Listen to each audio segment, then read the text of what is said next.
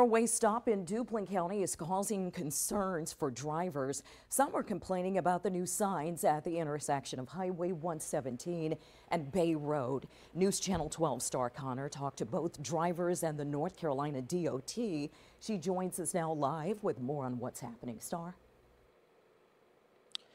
Driver, drivers I spoke to say that these signs have only been here for nine days and they say it's causing more concern and causing more danger risk of accidents. Drivers in Teachey have already had it with the new signs installed at the intersection of Highway 117 and Bay Road. Nobody understands why they're doing it.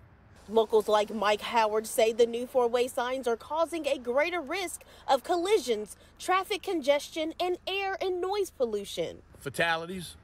There's, it's not going to be good. Look at the people lined up out there now. This that highway right there. Look at the cars out there. They had to stop. And it's usually flowing all the time through here, and it's just uh, it's a pain for everybody. And every truck that comes through here has to stop. And when the truck has to stop, and restart, think about the fuel consumption, think about the wear and tear on the truck. Regional traffic engineer Coke Gray says the four way stop signs were placed at the intersection of Highway 117 and Bay Road due to a pattern of crashes in that area. There was a stronger pattern of crashes at that location. There was 21, I think 21 crashes in the past 10 years.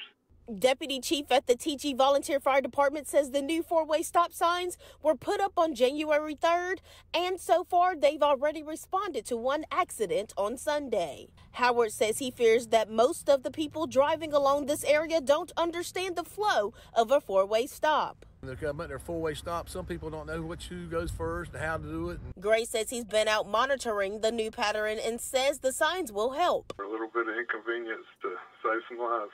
I mean, I went and watched it today, and uh, it seemed to operate